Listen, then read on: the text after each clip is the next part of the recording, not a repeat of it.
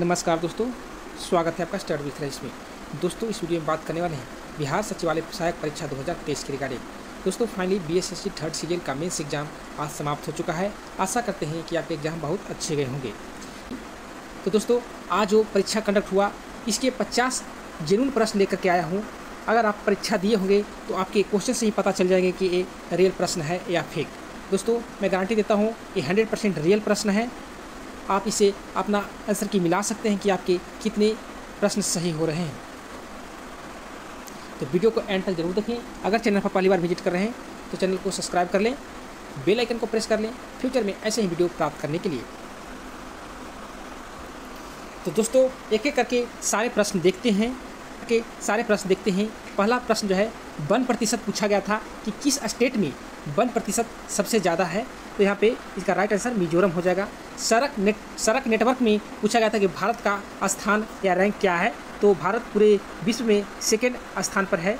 Leone मेड्रिका के बारे में पूछा गया था कि किस खेल से संबंधित है तो शतरंज से संबंधित है। वही पूछा गया था एक बटर फ्लाई स्टोक, शब्द किससे संबंधित है तो ये तैराकी से संबंधित है। दोस्तों, एक मिलान करने से संबंधित प्रश्न था, जिसका जो आंसर होगा, अगस्त प्रस्ताव होगा, उसके बाद व्यक्तिगत सत्याग्रह, क्रिप्स मिशन और भारत छोड़ो आंदोलन, इसका सही क्रम होगा। एक प्रश्न पूछा गया था ब्राही लिपि से संबंधित है कि ब्राही लिपि को सबसे पहले किसने पढ़ा था? तो जेम्स पेशिप ने पढ़ा था। उसके बाद पूछा गया था, बैटल ऑफ़ बिलोंगिंग, पुस्तक के लेखक कौन है? इसके पुस्तक के लेखक हैं शशि थरूर हैं। वही दोस्तों, टोंगो का पूछा गया था, टोंगो क्या है? इसका होगा, राजधानी लेमो हो जाएगा, माली का राजधानी पूछा गया था तो बमाको हो जाएगा तुर्की का मुद्दा पूछा गया था, इसका राइट आंसर लीरा हो जाएगा। वही दोस्तों जी ट्वेंटी का व्यापारिक सम्मेलन के बारे में पूछा गया था, प्रकाश का किनारे पर थोड़ा मुड़ना कहलाता है तो विवर्तन कहलाता है। उसके बाद दोस्तों पूछा गया था कि आईएमएफ की फ़र्स्ट वोमेन मुख्य अर्थशास्त्री जो कौन बनी थी तो गीता गोपीनाथ बनी थी। म्यांमार भारत से कब अलग हुआ था, ये आसान प्रश्न पूछा गया था। उन्नीस सौ सैंतीस में अलग हुआ था। वही दोस्तों पूछा गया था, रेल बजट, आम बजट के साथ में कब आया था? इक्कीस सितंबर 2016 को रेल बजट और आम बजट में साथ रेल बजट और आम बजट को मिला दिया गया था। वही एक दोस्तों वो स्टडी से पूछा गया था एपिग्राफी का संबंध किससे है? तो अभी लेखों का अभिलेखों का अध्ययन एपिग्राफी कहलाता है। वही दोस्तों एक पूछा गया था कि आई एफ़ सेवन इसका ए, क्या होता है? तो पंचकोणीय पिरामिडीय होता है। एक साइंस से प्रश्न था लिथियम और मैग्नीशियम अलग होते हुए भी सेम है क्यों? इसे प्रश्न पूछा गया था। उसके बाद दोस्तों यहाँ पे फ्लोरीन ऑक्सीजन और नाइट्रोजन में इरेक्शन के बारे में पूछा गया था, कौन होगा तो इसका राइट आंसर होगा फ्लोरीन उसके बाद में ऑक्सीजन उसके बाद नाइट्रोजन हो जाएगा। उसके बाद दोस्तों पूछा गया था L V M three rocket से कितने सेटेलाइट प्रक्षेपित किए गए थे? तो छत्तीस किए गए थे। गोल्डन फाइबर किससे नाम से जाना जाता है? तो जूट को गोल्डन फाइबर के नाम से भी जाना जाता है। एक प्रश्न पूछा गया था कि इंडोनेशिया का पुराना नाम क्या था? तो इसका नाम था मलाया। दोस्तों एक प्रश्न पूछा गया था, ईमेल के खोजकर्ता कौन है? द रे टॉलमिल्सन थे। वही दोस्तों एक प्रश्न पूछा गया था कि चीन की उन्नीस के क्रांति में। चीन की उन्नीस के क्रांति के फलस्वरूप, चीन के राजवंश का अंत हुआ तो चिंग राजवंश का। तो एक प्रश्न पूछा गया था, बांग्लादेशी सामाजिक कौन थे? इसमें ऑप्शन दिया गया था, इसका राइट जो हुआ मोहम्मद यूनुस, बांग्लादेशी एक सामाजिक कार्यकर्ता थे।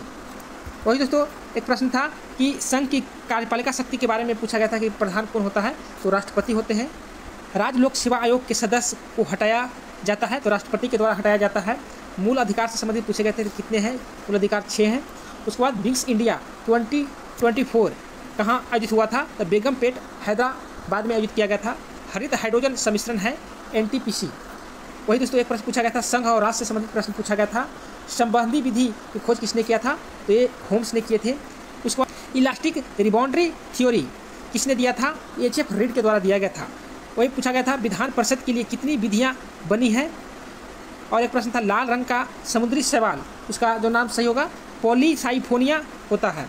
वही एक मछली से प्रश्न पूछा गया था, मैक्रेला पामक्रेट और कतला, ये कौन कौन मछली है? इसमें तीन सही है, एक गलत था। उसके बाद दोस्तों, एक प्रश्न पूछा गया था, पैंथलासा से संबंधित, ये प्रशांत महासागर से संबंधित है। दोस्तों, एक प्रश्न है, तूफानी चेतावनी सेंटर लगा है तो तूफानी चेतावनी सेंटर कोलकाता, पश्चिम बंगाल में लगा है। संयुक्त अधिवेशन से संबंध पूछा गया था कि संयुक्त अधिवेशन का अध्यक्षता कौन करता है? तो लोकसभा अध्यक्ष करता है। जी ट्वेंटी की कार्य समूह की पहली बैठक कहाँ हुआ था? इससे प्रश्न पूछा गया था। एक प्रश्न द एलिफेंट विषय पर पुस्तक के लेखक पूछा गया था। कार्तिकीय गोंजावलीय था। दोस्तों, एक प्रश्न पूछा था कि आठवीं अनुसूची में नहीं है। कौन सा भाषा जो है आठवीं अनुसूची में नहीं है? तो राजस्थानी को नहीं शामिल किया गया है। राजस्थान में बोले जाने वाली भाषा एक पूछा गया था। वो है डिंगल। फूलों की घाटी कहाँ स्थित है? उत्तराखंड में स्थित है। एल सिद्धवी समिति का समय पीएम कौन थे उन्नीस में? तो राजीव गांधी थे। ग्रामीण युवा को 15 से 35 वर्षों का प्रतिशत करने वाला योजना कौन है? तो दीनदयाल योजना है। उष्ण कटबंधीय सदाबहार वन है। केरल में सिंध प्रांत में नहीं है।